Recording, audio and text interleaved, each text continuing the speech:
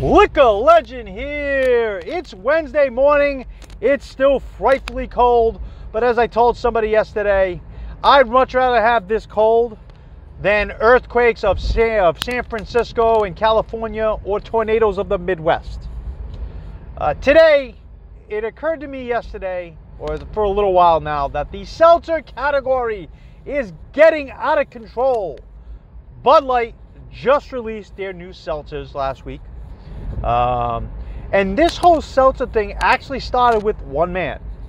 This guy, and I can't think of the name of it right now; it's escaping me. But he was uh, he's a beer, he was a beer maker, and he was sitting in a bar one day and he's watching these females order vodka sodas one after the other, and he says, "I could do something like that." And Spike Seltzer was born.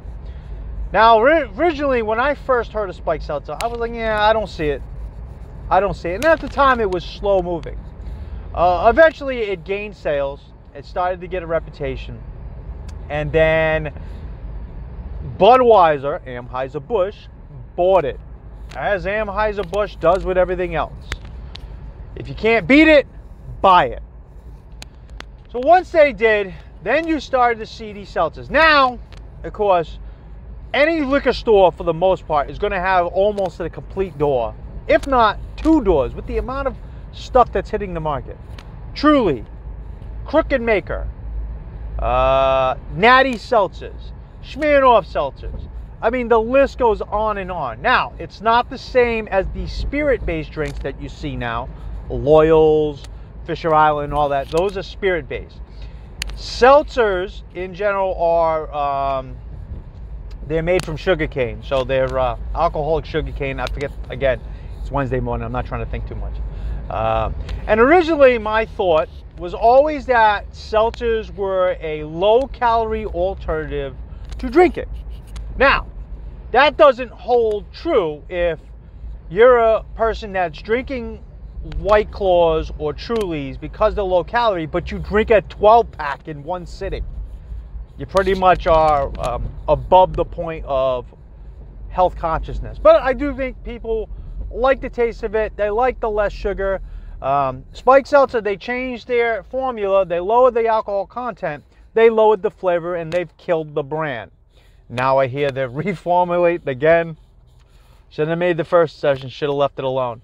Um, and now you got every ranges. Now you have the high alcohol calorie ones. So Natty Seltzers are 6%. Svedka Seltzers are 6%. Um, Four Loko Seltzers, 12%. Now I tried the black cherry, and I'm not personally. I don't like all that alcohol. Um, I drink seltzers regularly. I think that the Polar's version, which is Arctic Summer, tastes exactly like Polar seltzers. Now I'm not con- I'm not suggesting people drink in public, but if I grabbed an Arctic Summer raspberry lime and put it in a Polar raspberry lime bottle you could not tell the difference. You will not smell the difference. You will not taste the difference. Again, if I want to go to the beach and I want to have a couple of drinks, that is exactly what I would do. That's the stuff I would bring. But you can do it with any of the seltzers. If they look clear, you put it in a seltzer bottle, you're not going to tell the difference. Um, and of course, Jon Taffer of Bar Rescue uh, announced last year, of third quarter of last year, that he was releasing seltzers and he was unimpressed by the flavors offered. Then you mention, well, our first flavor is going to be strawberry basil. Jon, there's nothing interesting about strawberry basil. If that is your first interesting flavor, I think your seltzers are probably going to die on the vine. Um, but it's out of control. I had to move Crook & Marker. I had to move another one to fit the Bud Light seltzers. But you have to go with the seltzers that make you the most money.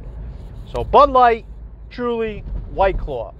Now, of course, I have a thousand square foot cooler, and that gives me the availability to put things inside the cooler that I don't have on the doors to have more of a selection. So, I obviously have double the amount of seltzers that most stores have, and cold.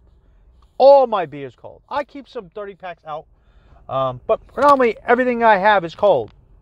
Everybody wants cold beer. They don't want warm beer. Not to attack you know who, but when you have a small store and you're getting craft beers and you put it on a warm shelf, not a smart idea. You pretty much are not even, you shouldn't even have them in the first place if they're just going to be on a warm shelf. They're not going to sell. Just saying, you know who. But, anyways, so the seltzers are exploding. Um, and I think that for the time being, it's going to remain a top dog until something else comes out. I think the next big craze will be coffee because you're starting to see more of that.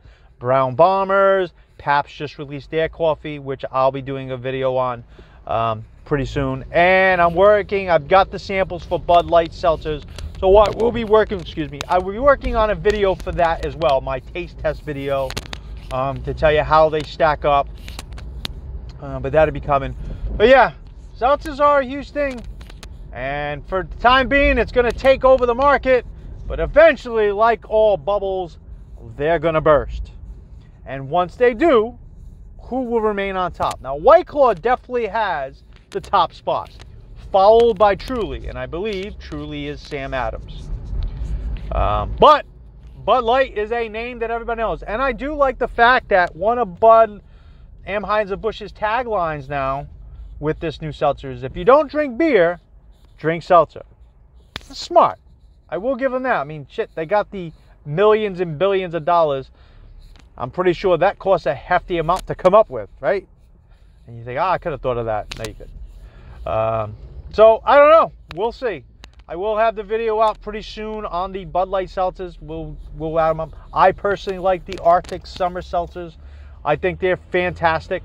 Um, Trulies are okay. White Claws are okay. I mean, it's it's all light. It's all style that I like to drink anyways because I drink seltzers naturally.